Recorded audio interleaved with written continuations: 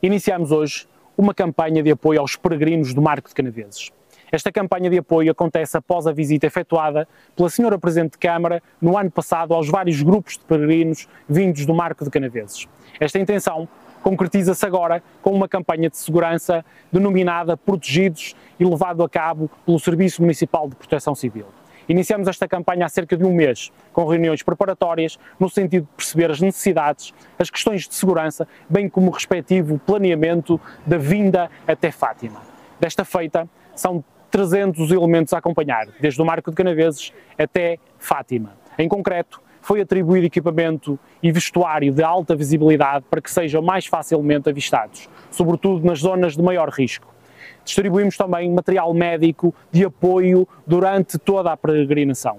E estaremos no terreno durante toda esta semana a acompanhar os vários grupos destes 300 elementos de peregrinos oriundos do Marco de Canaveses com o destino a Fátima.